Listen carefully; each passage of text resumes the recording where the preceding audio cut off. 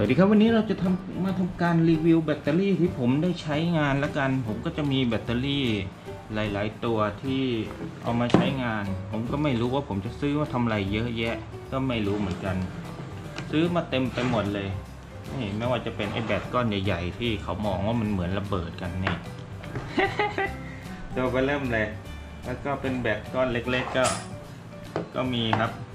ไม่ว่าจะเป็นแบบแบตอย่างนี้ที่มันบอกว่าสเปคอะไรไม่รู้ผมก็ทำงานงัดมันแล้ว งัดในคลิปก่อนหน้านี้ไปแล้วตัวนี้มันใช้แบตโทรศัพท์ครับ แล้วก็ไม่ว่าจะเป็นแบตมอเตอร์ไซค์นี่ของ Rio เอาออกมาให้ดูเลยดีกว่า แล้วก็พวกแบตสว่านไฟฟ้ารุ่น 4 ก้อนครับ แล้วก็รุ่น 5 ก้อนตัวนี้ก็เดี๋ยวไงจะมาลองรีวิว ก็ที่จริงผมก็ไม่ค่อยรู้อะไรมาก แล้วก็เอารีวิวเท่าที่ผมพอจะรู้เรื่องแล้วกันเนาะว่า แบตแต่ละตัวที่ผมได้ลองใช้งานมา มันมันดีอย่างไร ก็เริ่มด้วยแบตไอ้ตัวนี้ก่อนเลยแล้วกันแบตสว่านไฟฟ้าเนี่ยผมชอบมากเลย แต่ก็เพราะว่ามันราคาถูกครับตัวนี้ ตัวนี้แบตสว่านไฟฟ้าผมจะได้มาก้อนประมาณ 150 บาทตัวนี้ครับ 150 บาท ซึ่งราคามันราคามันถูกดีครับ แล้วก็มันก็ใช้งานได้ ได้ดีเยี่ยมเลย แล้วผมก็ไปใช้กับไอ้ตู้บลูทูธนู่นน่ะไอ้ตู้นู่นน่ะ โดยผมใส่มันไป 2 ก้อนเลยไอ้ตู้เนี้ยผมใส่แบบนี้สองก้อน ผมซื้อมาก้อนละ150นะ แล้วเดี๋ยวผมจะแกะให้ดูว่าข้างในมันมีอะไรไอ้แบตตัวเนี้ย คือถึงไงเอามาเอามาใช้งานผมก็ต้องแกะอยู่แล้ว เพราะเพราะว่ามันใหญ่เกะกะ มันใหญ่เกะกะแล้วพอเข้าตู้มันก็จะเปลืองปริมาตร ผมก็ แกะออกให้มันเล็กๆดีกว่านี่ครับ แกะออกมามันก็จะเป็นแบตสี่ก้อนนี่นี่ครับอะให้ดูขั้วมันก่อน ตัวนี้มันบอกว่า 24 โวลต์จริงๆ ไม่ถึงนะ มันแค่ 16 โวลต์เอง มันหลอกเราอย่าไปเชื่อมันมากนี่ครับ แล้วมันก็จะมีขั้วอยู่ทั้งหมด 3 ขั้วเนี่ยหนึ่งสองสามจะมีขั้วบวกอยู่หนึ่งขั้วถ้าถ้าเห็นนะขั้วบวกหนึ่งขั้วแล้วก็ขั้วลบหนึ่งขั้วแล้วก็ตัว T อีกหนึ่งขั้วเวลาเราชาร์จนะครับ เวลาเราชาร์จ เราจะต้องเอาขั้วบวกกับขั้วตัว T เนี่ยชาร์จเข้าไปที่ชุดนี้เนี่ยครับชุดบวกกับ T เนี่ยเราจะชาร์จเข้าไปที่ตัวนี้ หรือว่าเราจะเสียบชาร์จที่จุดนี้เลยก็ได้ เอาอะแดปเตอร์พวกเนี้ยเนี่ยผมมีอะแดปเตอร์ตัวเนี้ยเอามาชาร์จได้เลยนะครับก็เสียบเข้าไปเลย แต่มันไม่บอกสถานะว่าเข้าหรือไม่เข้าหรอกผมจะทำการดูเอาเพราะว่าตัวนู้นตัวตัวไอ มันมีแอมมิเตอร์อยู่ไกลๆด้วยเห็นไหมครับ เอามาใกล้ๆก็ได้คือผมผมมีแอมมิเตอร์อยู่ตัวหนึ่ง เอาไว้ดูว่าแบตมันเข้าไหมเห็นไหมถ้ามันเข้าตัวเลขมันก็ขึ้นตอนนี้มันชาร์จอยู่ประมาณ 9 วัตต์เนี่ย 11 วัตต์เนี่ยครับอันนี้คือมันเป็นแอมมิเตอร์ครับก็ส่วนใหญ่ผมเอาไว้ดูครับ เอาไว้ดูว่าแบตมันมันเข้าหรือเปล่า ถ้ามันมันชาร์จไม่เข้าอะตัวไอวัตต์เมื่อกี้อะมันก็จะไม่ขึ้น อันนี้มันก็จะชาร์จอยู่ครับ ตัวอะแดปเตอร์ตัวนี้ผมจะใช้ 19 โวลต์ในการชาร์จนะ เนี่ยสำหรับชาร์จแบตสว่านไฟฟ้าตัวนี้นะใช้ 19 โวลต์ ก็ก็ชาร์จอยู่ประมาณนี้ ส่วนแกะออกมาข้างในครับ ตัวนี้มันบอกอยู่1,300มิลลิแอมเอง ตอนแรกผมนึกว่าพันห้าบางตัวก็บางตัวก็พันห้าบางตัวก็พันสามเช่นตัวนี้ตัวนี้ผมซื้อมาอีกที่หนึ่งเหมือนกัน แต่ผมทำพังไปแล้วทำวงจรมันพังไปแล้ว แต่ตัวนี้มันพันห้านะ เนี่ย อันนี้ได้มาจากในช้อปปี ดีกว่าครับเพราะว่าผมดูน้ำหนักแล้วเนี่ยผมจับน้ำหนักดู น้ำหนักมันหนักหนักดีอยู่ ตัวสีน้ำเงินเนี่ย สีม่วง สีม่วงเนี่ยดีกว่า ดีกว่าสีฟ้า สีฟ้ามันพันสามส่วนสีม่วงนี่พันห้ามันพันห้าร้อยมิลลิแอมนะครับ ต่อก้อน ก็เนี่ยครับวงจรมันก็จะเป็นอย่างนี้มันมี BMS ในตัวด้วย ผมก็เลยชอบใจมากเลย เวลาเราต่อใช้งานนะครับ ผมจะแกะออกมาอย่างนี้เลยเนี่ย แล้วผมก็จะบัดกีสาย ก็คือที่ผมบอกว่าขั้วตัว T คือตรงเนี้ยตัวเนี้ย จะเป็นขั้วลบนะขั้วตรงนี้ขั้วลบนี่ก็ลบลบลบแล้วก็นี่บวก เวลาเราใช้งานนะครับ เราจะเอาขั้วลบกับขั้วบวกสองบนกับล่างเนี่ยไปใช้เนี่ยบนกับล่าง ส่วนเวลาเราชาร์จ เราก็ต้องเอาเอาขั้วเนี่ยขั้วลบ ลบเนี่ยเข้าแล้วก็บวกตรงนี้คู่นี้สำหรับในการชาร์จ ก็ดีอยู่เนี่ยไม่แพงครับตัวนี้ก็ผ่านกันไป ประกอบกล่องอย่างเดิมด้วย ก็เผื่อใครจะไปหาซื้อก็ไปลองหาซื้อในตำลาซาด้าดูครับ ถ้าให้ซื้อผมแนะนำซื้อที่เป็น 4 ก้อนนะ มันจะมีรุ่น 3 ก้อนกับ 4 ก้อน ถ้าจะมาใช้กับลำโพงบลูทูธเรื่อง4ก้อนดีกว่า โอเค ตัวนี้ก็ผ่านไป ต่อไปตัวต่อไปตัวนี้ผมชอบมากเลย ตัวนี้เป็นแบตชาร์ปครับ แต่ผมแกะมาแล้ว แบตชาร์จตอนนี้ในกลุ่มเขาขายกันอยู่ประมาณก้อนละ 200เนี่ย ตัวเนี้ย200 ซึ่ง 200อะมันเป็นแบตดีมากเลยแต่มันพอดีมันแกะไม่ได้ ผมผมแกะมาให้ดูละ มันจะเป็นแบต 5ไออะไรวะ3.7 โวลต์เหมือนกันครับเนี่ย5ก้อนอยู่ข้างล่างเนี่ย1 2 3 4 5 ตัวนี้เอาพุทจะอยู่ที่กี่โวลต์จำไม่ได้ ผมวัดให้ดูเลยแล้วกัน นี่ครับเอาพุทตัวนี้ มันชาร์ปไง ชาร์ปก็แบรนด์ญี่ปุ่นนะ ง่ายๆ คิดดูว่าสวรรค์ของญี่ปุ่นมันจะทำกระจอกทำสเปคไม่ตรงเลย มันทำตรงอยู่แล้ว นี่ครับตัวนี้อยู่ที่ 18.9 โวลต์เลย ตัวนี้ดีครับ เพราะว่ามันใช้ถ่านถึง 5 ก้อน 18.9 โวลต์นี่ครับ แล้วก็มันมี BMS เนี่ย ที่ว่ามันตัดเนี่ยมันออกแบบมาดีมากเลยมันซิลอะไรให้อย่างดีเลย เนี่ยตอนนี้ในกลุ่มเขาเอามาขายกันอยู่ประมาณก้อนละก้อนละ 200 บาท เมื่อก่อนเขาขายกัน 160 180 บาทเองนะแต่ตอนนี้มันเหมือนว่ามันขายดีอะคนต้องการเยอะราคามันก็เลยขึ้นมาหน่อย ผมก็ไปจัดมาเลยเด็กผมไปจัดมาอีกห้าก้อนแล้วแหละไม่รู้ซื้อมาทำบ้าอะไรเยอะแยะ อันนี้อันนี้ของเก่าที่ผมซื้อมาก่อนหนั้นนี้สองก้อน อันนี้ผมแกะออกมา ก็เวลาใช้งานตัวนี้ก็เขาต่อกันตรงนี้เลยเนี่ย คือขั้วบวกกับขั้วลบเนี่ย ที่ผมวัดเมื่อกี้อะก็ต่ออัดเข้าไปเลยเนี่ย ใช้งานได้สบายเลยตัวนี้ ผมไปหาข้อมูลใน Lazada ก็คือไอ้ถ่านมันเนี่ยเห็นไหมถ่านข้างในสีเขียวๆเนี่ยเนี่ยไอ้ถ่านพวกเนี้ยแต่ละก้อนน่ะผมไปหาข้อมูลใน Lazada นะของใหม่มันขายก้อนละร้อยเลยนะเนี่ยแพงมากเลยรุ่นนี้เลยตรงรุ่นเลย ตัวนี้มันจะอยู่ที่ถ้าผมจำไม่ผิดมันจะอยู่ประมาณ 2,000 2,200มิลลิแอมหรือไงเนี่ยแหละ ต่อก้อนนะ เนี่ยก็คือไอ้ตัวเนี้ย อันนี้ตัวสีม่วงนี่ที่ผมบอกว่าแค่พันห้าเนี่ยตัวเนี้ยพันห้าร้อยมิลลิแอมนะมันก็สกรีนบอกอย่างเนี้ยพันห้าตัวเนี้ยจะอยู่แต่ตัวเนี้ยมันจะอยู่ 2,200มั้งถ้าผมจำไม่ผิดนะซึ่งดีกว่าอยู่แล้วอึดกว่าดีกว่า แล้วก็แบต5ก้อน แรงกว่าด้วย โอเค ผ่านไป ส่วนตัวนี้จะเป็นรุ่นที่ผมประกอบเองครับ ตัวนี้ผมจะประกอบเองโดยผมจะประกอบแค่ไอตัวนี้ผมจะทำเป็นแค่ 12 โวลต์นะ 12 โวลต์ก็คือผมจะเป็นขนาดแต่ละชุด 6 ก้อน 6 ก้อนก็คือขนาดทีละ 2 ก้อนอะสองก้อนสองก้อนนี้คือขนานกัน แล้วก็ 2 ก้อนนี้ขนานกัน อีก 2 ก้อนนี้ก็ขนานกัน เพื่อให้มันเป็นให้กระแสมันเพิ่มขึ้นนะครับ ตัวนี้ ตัวนี้ก็ประกอบเองครับ แต่ถ้าจะแนะนำคืออย่าไปซื้อนะครับ ผมแนะนำอย่าซื้อเลยไอ้พวกฐานที่มันบอกสเปคสูงๆอย่างเงี้ยอย่างเงี้ย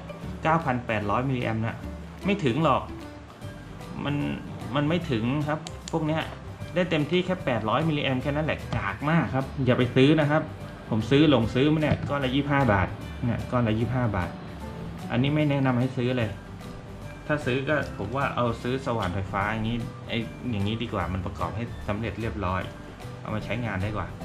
ส่วนตัวนี้ก็มี BMS เหมือนกัน แต่ผมจำไม่ได้ว่าสเปคเท่าไหร่ ก็อันนี้ผมจะประกอบเองเหมือนกัน ก็ตัวนี้ก็ใช้งานได้ปกติให้ดูจะวัดโวลต์ให้ดูเลยก็ได้ วัดว่าตัวนี้ได้กี่โวลต์จริงๆผมต่อพวกไออุปกรณ์วัดโวลต์อย่างนี้ไว้แหละผมเอาไว้ต่อดูไฟว่าไฟมันตกหรือเปล่าเราก็เราก็ต่อดูอย่างนี้ก็ได้ ไม่ต้องใช้มิเตอร์วัด เนี่ยเห็นไหมผมไม่ได้ใช้งานแล้วแบตมันตกแล้วเห็นไหมเนี่ยมันกากมันกระจอกนะครับเนี่ยเหลือเจ็ดโวลต์เองดูดิอะไรเสียก็ไม่รู้เนี่ย ปกติต้อง 12 นะ ดูดิผมทิ้งไว้เฉยๆนะแบตเหลือ7โวลต์เฉยเลย กระจอกมากครับ ไม่แนะนำส่วนไอ้ถ้าจะชาร์จไอ้พวกอันนี้นะครับ ตัวนี้มันจะแค่ 10 3.7 น่ะ ก็คือ 3.74 ก้อน ไอ้3 3ก้อมันจะ12โวลต์น่ะ เราจะใช้ไอ้ที่ชาร์จ12โวลต์ก็ได้ตัวนี้จะใช้ไอ้หัวชาร์จ12โวลต์ผมจะทิ้งไว้ในนั้นช่างมันไม่เอาให้ดูแล้วกันก็คือ ตัวชาร์จแบตก็ใช้แค่12.6โวลต์ก็ชาร์จได้ละตัวเนี้ยเพราะว่าไฟมันจะอยู่ที่ประมาณ เดี๋ยวผมคำนวณก่อน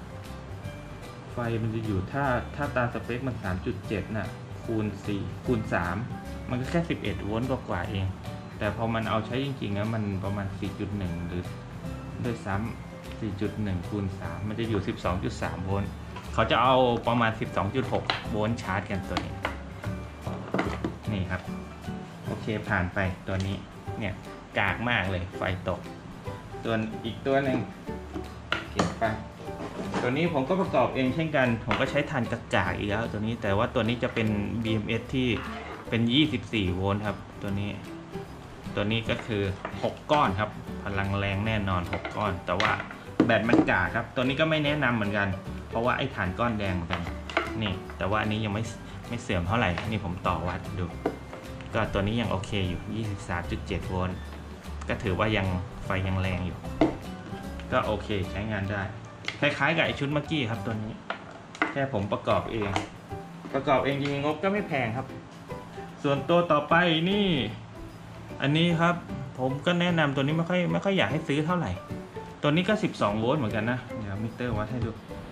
ตัวนี้ 12 โวลต์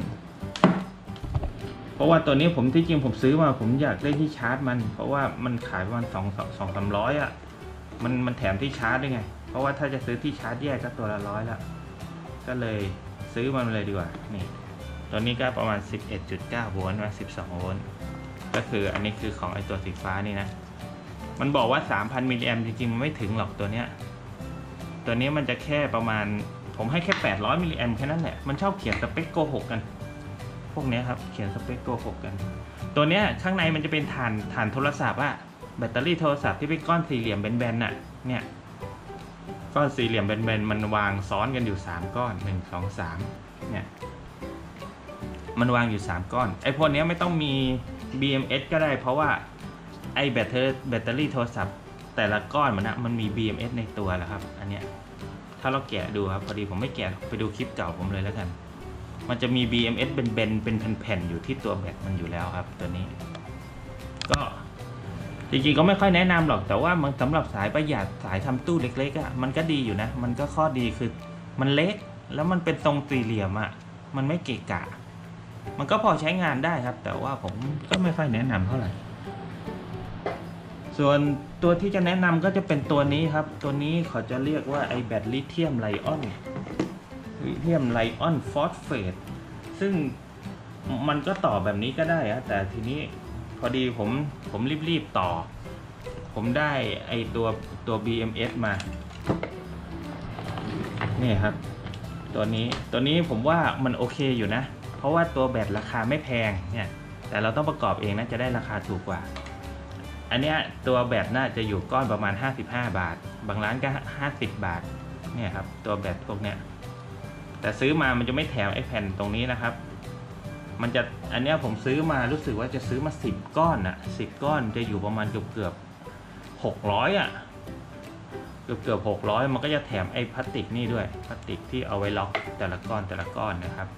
ก็ตกประมาณก้อนละ 55 บาทคิดง่ายๆครับก้อนละ 55 บาท ยังไม่รวมอันนี้ครับไอ้แผ่น BMS ตัวนี้ก็จะแผ่นแผ่นละร้อยประมาณแผ่นละร้อยอะรวมแล้วท่านเนี่ยคิดอยู่ก็ประมาณ 350 บาทได้เนี่ยชุดนี้ครับ ส่วนตอนซื้อมานะมันจะไม่มีคาปาตัวนี้หรอกผมไปอ่านในกลุ่มมาเขาบอกว่ามันชอบตัดเวลาเราจ่ายไฟอะเวลาเราจ่ายไฟไฟกระชากอะสมมุติเราจ่ายไฟไฟกระชากแล้วมันจะตัด อันนี้ผมตอบผิดนะ อันที่ยังต้องตอบนี่คือเวลาเราเราจ่ายไฟเลี้ยงให้กับแอมป์ของเรา มันกระชากครับ แล้ว BMS มันตัด มันคงมีวงจรอะไรของมันเนี่ย protect อะไรสักอย่างช่วงไฟกระชากมันก็เลยตัด เขาก็เลยแนะนำให้หา capacitor ค่าสูงๆมาใส่ตรงนี้ให้มันตัวเนี่ยนี่ครับ ผมก็เลยไปเอามาใส่ ส่วนวิธีการต่อเขาส่วนใหญ่เขาจะแนะนำให้เราต่อโดยตรงเอาสายไฟเส้นใหญ่ๆอัดที่ขั้วมันตรงนี้ดีกว่า แต่ละจุดแต่ละจุด แต่ทีนี้ผมไม่ได้ต่ออย่างนั้น ผมใช้สายไฟที่มันแถมมาเนี่ย ซึ่งเส้นมันเล็ก เส้นมันเล็กมันจะจ่ายกระแสได้ไม่เต็มที่ครับ เอามาเอามาต่อต่อแต่ละจุดแต่ละจุด ไอ้ส่วนวิธีการต่อ ลองไปหาดูแล้วกันมันไม่ได้ยากอะไรหรอก มันก็คือมันจะไล่ต่อทีละก้อนทีละก้อนไปนะนี่ครับ ตัวนี้คือมันจะทำ balance ให้ให้เราด้วยไง แต่ไอ้แบตตัวเนี้ยที่เราเห็นมีสี่ก้อนน่ะ มันได้แค่สิบสองโวลต์เองนะ เพราะว่าปกติมันมันจะแค่สามจุดสองโวลต์ต่อสามจุดสองโวลต์ต่อก้อน ตัวนี้ครับ เดี๋ยวผมจะวัดให้ดูเลย ว่าแต่ละก้อนมันเท่าไหร่เนี่ยครับ ไม่รู้เห็นปะนี่แต่ละก้อนมันไฟมันไม่สูงเหมือนไอ้แบตพวกนี้ พวกนี้ไฟมันจะอยู่ 3.7 ตัวเนี้ย แต่ส่วนตัวนี้จะอยู่แค่ 3.2 นี่ครับ เนี่ยเห็นไหมไฟมันจะอยู่แค่ 3.2 โวลต์เท่านั้น พอเราต่อ 4 ก้อน อเราต่อ 4 ก้อนแบตมันก็เลยจะอยู่ประมาณที่นี่ครับ 13 โวลต์เนี่ยเราจะต้องหาไอตัวชาร์จที่ไฟสูงกว่า 13 โวลต์นะเขาจะใช้ประมาณ 14 โวลต์กัน 14.6 โวลต์อะไรเอามาชาร์จครับเมื่อผมไม่แน่ใจนะ ว่าใช้ประมาณเท่าไหร่ในการชาร์จ แต่ว่าผมจะปรับไว้ประมาณ 14.6 ผมยังไม่มีที่ชาร์จไอตัวนี้ครับ ตัวนี้ 13 โวลต์นะ ส่วนตัวชาร์จผมยังใช้ไอ้ตัวนี้อยู่เลย พอดีผมไม่มีที่ชาร์จ ผมก็เลยต้องมา modify ไอ้ตัวนี้ครับ ตัวนี้ผมก็เอามาไว้ใช้ชาร์จแบตเพราะว่าตัวเนี้ยมันเป็น USB นะแล้วตัวเนี้ยมันจะปรับไฟได้ แล้วไอ้พวกเนี้ยวงจรพวกเนี้ยพอมันเต็มแล้วมันก็จะตัด มันตัดของมันเองครับ ผมก็เลยสามารถใช้พวกแนวได้ เวลาชาร์จพวกนี้ผมก็ใช้ในการเสียบ USB เข้าไปนี่ แต่ USB ต้องตัวที่มันกระแสเกิน 2 แอมป์ขึ้นไปนะ เห็นไหมไม่รู้เห็นหรือเปล่านะเห็นวางไว้ก่อนนี่ครับ ตัวที่ผมใช้ชาร์จ ผมจะใช้ตัวนี้ในการชาร์จ มันจะปรับไฟได้เราจะเอาเท่าไหร่เมื่อกี้แบตตัวนั้นมัน 13 โวลต์ครับผมจะชาร์จผมก็ปรับลงมา สัก 14 โวลต์แล้วกันเพื่อถ้าถ้าผมจะชาร์จ ผมก็ปรับลงมาครับ แต่นี่มันลงช้าหน่อย เพราะว่ามันมีคาปาตรงนี้ มันก็เลยลงช้าครับ เดี๋ยวรอแป๊บหนึ่ง เข้าใจคำว่าคาปาซิเตอร์เนี่ยไหมหน้าที่ของมันน่ะ มันเป็นการพัก พักไฟเนี่ย จริงๆ ผมปรับไฟมันลงมาแล้วนะ เนี่ย แต่ว่ามันยังไม่นิ่งเลยครับ มันยังลดลงเรื่อยๆเลย ที่ว่ามันที่มันลดลงช้าน่ะ เพราะมันมีคาปาตัวเนี้ย มันช่วยพยุงไฟไม่ให้มันตกเร็วอะครับ เนี่ย ถ้าถ้าขึ้นมันก็จะขึ้นเลย แต่ถ้าลงมันจะลงช้าหน่อย ดี๋ยวผมปรับไว้สมมติผมจะชาร์จตัวไอ้ตัวเนี้ยผมก็จะใช้ 14 โวลต์ประมาณ 14 โวลต์เห็นไหมแล้วผมก็จะเอามาชาร์จชุดนี้นี่ครับ ก็เอามาชาร์จนี่พอชาร์จปุ๊บไฟมันจะตกเลยพอเสียบลงไปมันก็จะตกเนี่ยผมก็จะรู้แล้วว่ามันทำการชาร์จ หรือว่าถ้าอยากรู้จริง ๆ ผมก็ใช้ไอ้ตัวนี้ก็ได้ ตัวที่ผมบอกนะว่ามันชาร์จเข้ากี่วัตต์ไปกี่วัตต์เนี่ยก็ ตอนนี้มันยังไม่เสียบมันก็เลยขึ้นศูนย์นะ พอเราเสียบไปเราก็จะรู้แล้วว่ามันชาร์จกี่วัตต์เนี่ย เอาไว้ดูวัตต์ง่าย ๆ ครับเนี่ย ได้ประมาณ 9 วัตต์ 10 วัตต์นั่นแหละ เนี่ย 9.4 วัตต์ เห็นไหมก็คือไอ้ตัวเนี้ยผมชาร์จไฟได้ประมาณ 9 ได้ประมาณ 10 วัตต์แล้วกัน ตีเลขง่าย ๆ ตัวเนี้ยก็ชาร์จ 10 วัตต์ก็ ก็คงจะนานหน่อยกว่าจะเต็มครับ ในการชาร์จ ชาร์จใช้ใช้ตัวนี้ชาร์จครับ เพราะว่าผมยังไม่ได้ซื้อมา โอเค ก็จะประมาณนี้ครับ ส่วนอีกตัวหนึ่งครับ อีกตัวหนึ่งก็จะเป็นแบตมอเตอร์ไซค์ครับ ซึ่งแบตมอเตอร์ไซค์ก็หลายคนนิยมใช้ ผมก็เอามาใช้อยู่เหมือนกัน นี่มันเป็นแบตมอเตอร์ไซค์เพราะว่าราคาไม่แพงครับตัวนี้ ราคาจะอยู่ประมาณ 180 บาทถึง 200 บาทครับแล้วแต่ร้าน อันนี้ยังไม่รวมส่งนะ ถ้าใครอยากได้คุ้มค่าคุ้มราคาก็ไปกดในช้อปปี้อะแล้วก็ไปกดคูปองที่มันส่งฟรีอะพอมันส่งฟรีนะ มันจะส่งฟรีได้เราเลือกสมมุติว่าเราก็ไปซื้อหลาย ๆ ร้านอะเพราะว่าคูปองหนึ่งใบอะหนึ่งใบเราจะเลือกส่งฟรีได้ร้านได้หลายร้านเลย ได้หลาย ๆ ร้านอะแต่ถ้าเราซื้อร้านเดียวกันอะน้ำหนักมันเยอะ เราก็ต้องไปเปลี่ยนแบบว่าร้านร้านนี้หนึ่งลูกอีกร้านหนึ่งหนึ่งลูกอีกร้านหนึ่งหนึ่งลูก แล้วเราก็มาใช้กดคูปองส่งฟรีอะเราจะสามารถใช้คูใช้ส่งฟรีได้ทั้ง 3 ร้านค้าเลยนี่ครับ ผมก็ซื้อมาทีละ2ลูก2ลูกครับเนี่ยตัวนี้แบตมันจะอยู่ 12 ถึง 13 โวลต์อะประมาณ 13 โวลต์ด้วยซ้ำเดี๋ยววัดให้ดู นี่ 12.79 เห็นไหมไม่เห็นโอ้โมจะโมอ้าว นี่ครับวัดให้ดู แบตตัวนี้ มาต่อครับพอดีเมื่อกี้ ไอตัวกล้องมันแบตแบตหมดครับ ที่ผมใช้เลคคอร์ด ก็ตัวนี้จะเป็นไอ แบตเตอรี่มอเตอร์ไซค์ครับ ซึ่งผมก็ชอบมากเลย เพราะว่าราคามันถูกครับ ตัวนี้ราคามันถูกแล้วก็ใช้งานได้ ก็ก็โอเคนะ กับเครื่องเสียงรถยนต์ แต่ว่าบางคนก็บอกไม่ดี แต่ว่าผมใช้งานอยู่มันก็ไม่เห็นมีปัญหาอะไรเลย แต่หลายคนมาบอกว่ามันมันต้องชาร์จไปด้วยที่ผมไปอ่านมานะแบบมันจะหมดไวมันอะไร แต่ว่าผมใช้แล้วก็ไม่เห็นมีปัญหาอะไร ก็ใช้งานได้ปกติ แล้วก็ใช้งานได้นานด้วย ผมไปเปิด3 4ชั่วโมงก็ไม่หมด แต่ว่าใช้กับตู้เล็กอะตู้ดอก 3 นิ้วผมอะตู้ดอก 3 นิ้วผมมีอยู่ตู้หนึ่งที่ใช้แบตตัวเนี้ย แล้วก็มันโอเคเลย ผมว่ามันมันหนักดี อืมมันใหญ่ดีแล้วก็หนักดี เนี่ยครับ ตัวเนี้ยผมก็มันจะ 12 โวลต์ที่ผมวัดให้ดูเมื่อกี้อะไม่รู้เมื่อกี้มันเลขคอร์ดหรือเปล่า แต่ตัว เนี่ยครับมันจะอยู่ที่ 12 12.79 โวลต์ครับ ซึ่งก็เพียงพอต่อการใช้งานแอมป์จิ๋วแล้วแต่ว่าถ้าใครอยากจะให้มันแรงกว่านี้ไอ้ก็ไปหา step up ครับ อยากจะให้โวลต์มันสูงกว่านี้ ก็ไปหา step up มาต่อให้มันเพื่อว่าจะขยายแรงดันไฟฟ้าให้มันเพิ่มขึ้น หรือว่าถ้าใครอยากจะให้มันใช้ได้ยาวนานอีก เราก็ไปหามาอีกแบบอีกก้อนหนึ่ง เราก็ไปหาอีกก้อนหนึ่งเอามาทำการเนี่ยเราก็เอามาอีกก้อนหนึ่งเอามาขนานกันเลยก็ได้ครับ เราก็จะได้กระแสที่มันยาวนานยิ่งกว่าเดิม อันนี้ก็เหมาะสำหรับตู้ใหญ่ๆนะที่ใครจะขนานเนี่ยครับส่วนสเปคมันเนี่ยมันจะบอก 12 โวลต์ 5 แอมป์ 12 โวลต์ 5 แอมป์ซึ่งเนี่ยมัน 5 แอมป์มันก็คง 5 แอมป์จริงอะถ้าเทียบกับไอ้พวกนี้ที่มันขี้โม้ผมเนี่ยเนี่ย อย่างเงี้ยมันบอกว่า 12 โวลต์2 12 โวลต์3แอมป์อะ คุณคิดดูก้อนแค่นี้มันจะมา 3 แอมป์ได้ไงวะ มันไม่ถึง เนี่ยก้อนพวกนี้มันหลอก มันหลอกคุณ มันไม่ถึง 3 แอมป์หรอก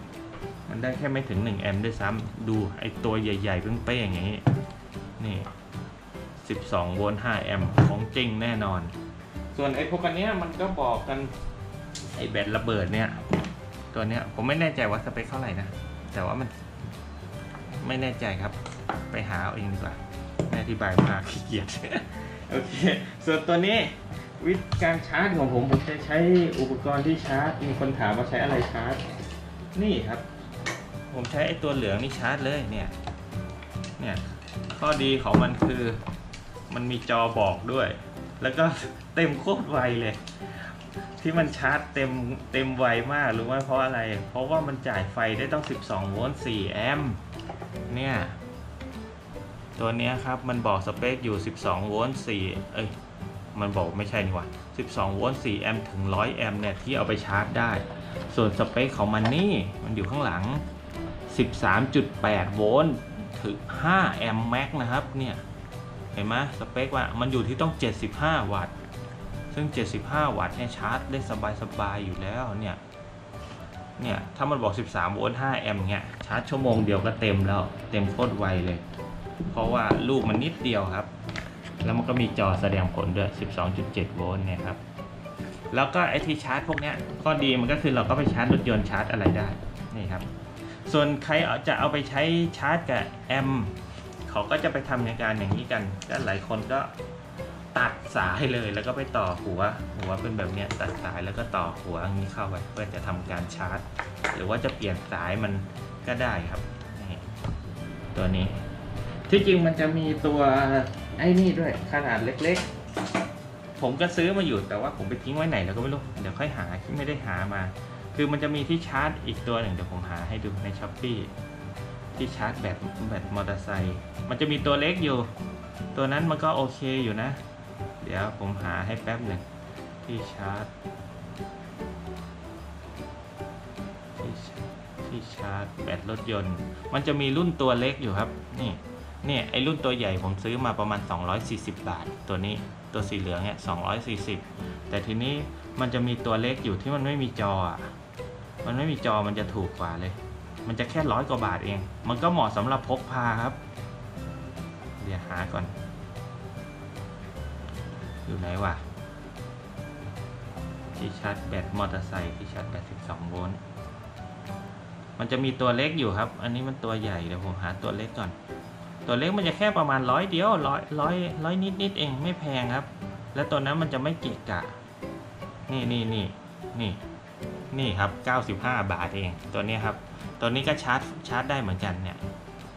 เนี่ยขายไปต้อง 200 กว่าชิ้นละ เนี่ยครับ ตัวเนี้ยมันก็จะเป็นเหมือนอะแดปเตอร์ที่ชาร์จนะแต่อีกฝั่งนึงมันจะเป็นปากคีบเนี่ยเราก็เอามาชาร์จได้ เพราะว่าตัวนี้มันออกแบบมาสำหรับชาร์จชาร์จแบตเตอรี่อยู่แล้วเนี่ยเห็นไหมมีรูปมอเตอร์ไซค์มีรูปรถยนต์ด้วยนี่ครับตัวนี้ แต่ตัวนี้กระแสมันจะน้อยหน่อย มันจะชาร์จชาร์จช้าหน่อย เพราะว่ามันแค่ 1.5 แอมป์เนี่ยสเปคมันจะบอกว่า 12 โวลต์ 1.5 แอมป์ซึ่งจะต่างกับไอ้ตัวเหลืองไอ้ตัวเหลืองเนี่ยมันมัน 5 แอมป์ไง ก็เลยชาร์จได้เต็มเร็วกว่า แต่มันจะมีข้อเสียอยู่อย่างหนึ่งนะ ที่ผมเจอมาก็คือเวลาเราชาร์จไปด้วยอะ่ะ เราชาร์จไปด้วยแล้วเราฟังเพลงไปด้วย มันจะมีเสียงแบบเสียงเออดังเบาๆอยู่ ไปกวนกับแอมแอมบางตัวนะครับ บางตัวมันก็จะไม่ดัง แต่ว่าบางตัวมันก็ดังอยู่